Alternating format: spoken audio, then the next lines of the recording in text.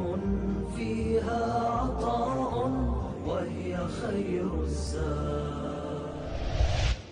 من الأمور التي تجعلنا نضمن حسن العاقبة أن لا تحتقر معصية فلعلها هي المهلكة وأن لا تحتقر طاعة فلعلها هي المنجية.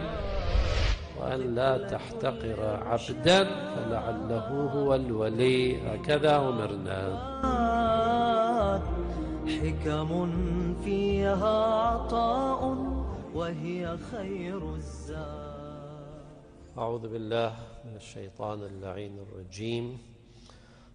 بسم الله الرحمن الرحيم. وأفضل الصلاة وأتم السلام. على أشرف الخلق وسيد المرسلين محمد المصطفى وآله الطيبين الطاهرين. اللهم صل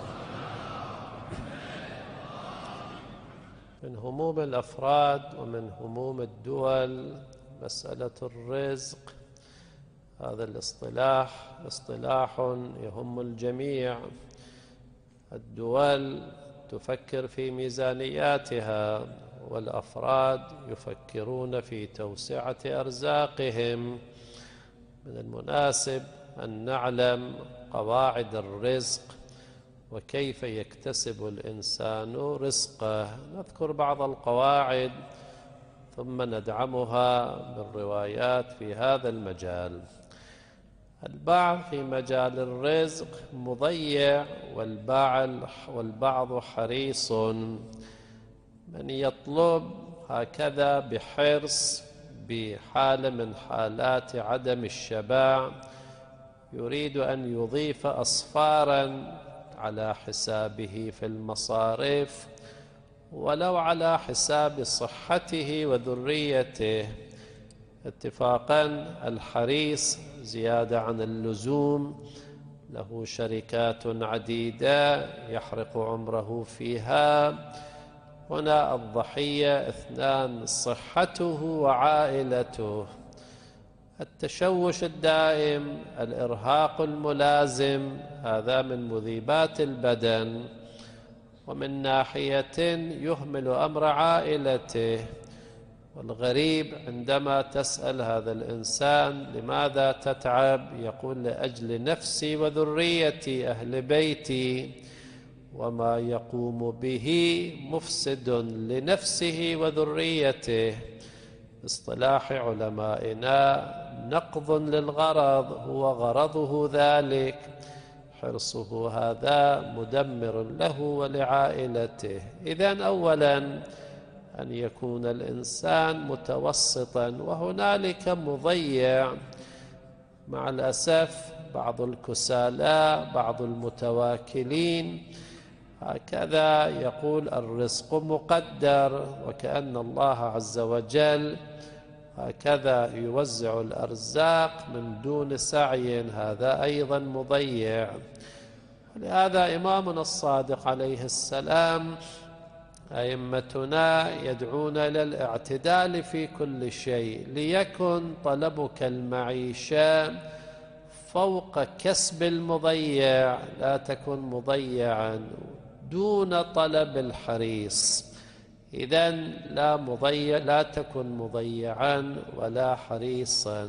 من قواعد الرزق في هذا المجال رب العالمين يحب عبده المؤمن. لا تشك في هذا المعنى بين قوسين سريعين لعله خارج عن حديثنا قليلا.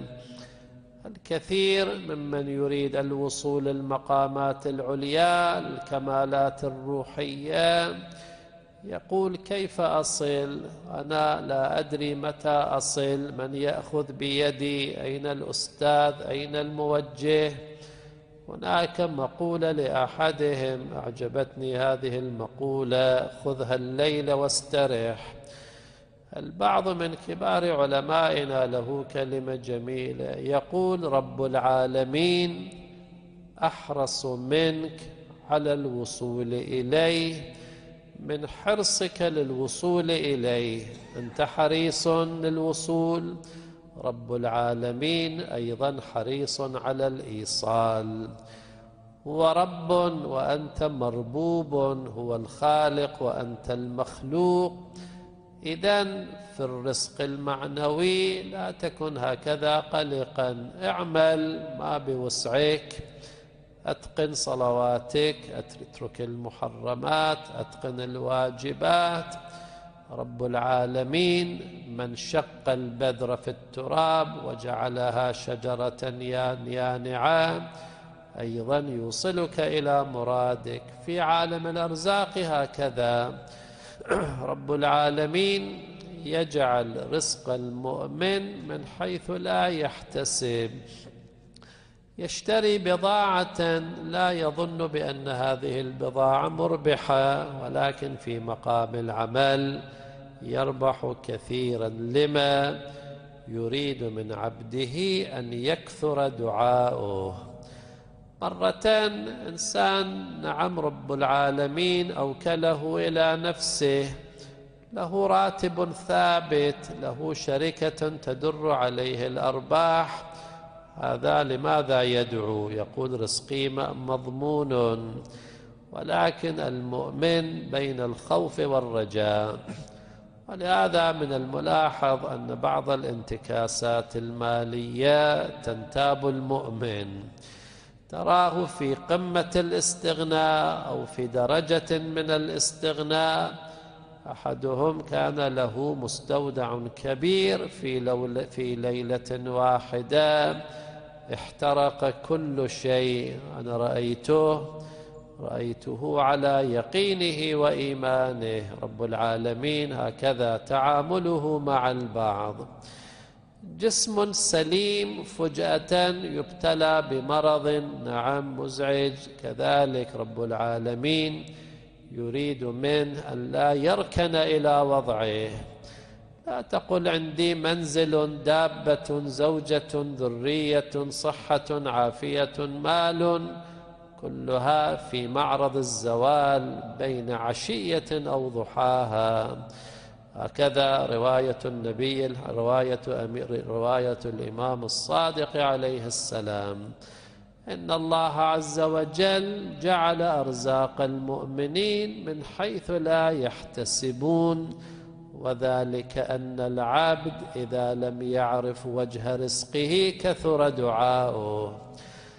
أيضا اسمحوا لي بقوس آخر ينفعنا أيضا حتى في القضايا المعنوية تعطى الرزق من حيث لا تحتسب. تأتي إلى المسجد متطيبا متطهرا تصلي جماعة لا ترى في قلبك شيئا من الإقبال. تذهب المنزل تريد أن تستحم. الحمام ليس مكان التوجه ولكن خطأ تفتح ماء حارا تحترق. وإذا بك تتذكر نار جهنم فتخشى. حتى الأرزاق المعنوية تأتيك من دون احتساب. الإخوة يذهبون للحج والعمرة يطوف ويسعى. لا تخرج منه قطرة دمعة من الخشية.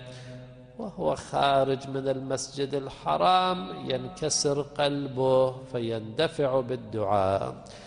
إذا المادي مقدر يأتيك من دون احتساب والمعنوي أيضا كذلك يأتيك من دون احتساب. نلملم الحديث.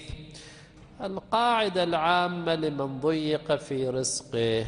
هذه الأيام الكثير يشتكي حتى كبار التجار يشتكون من الرزق رزقهم ليس على ما يرام. هناك أمران مهمان. الجزئيات كثيرة بين الطلوعين الدوام على الطهور إلى آخره. ولكن القاعدة القرآنية كما يرويها إمامنا الصادق عليه السلام في هذه الرواية اجتمع الثقلان نعم ثقل العترة وثقل القرآن. يقول إمامنا إذا استبطأت الرزق فأكثر من الاستغفار أكثر. لا تقولها مرة واحدة ولا تستعجل هذه مني أكثر من الاستغفار.